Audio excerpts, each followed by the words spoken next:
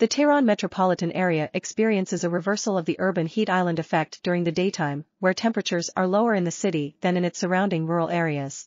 At night, however, the temperature differential increases, with temperatures in the city being higher than those in the countryside. This phenomenon is caused by the presence of bare soil surfaces in the city, which absorb more solar radiation during the day and release it back into the atmosphere at night. Additionally, the presence of buildings and roads in the city also contributes to this phenomenon.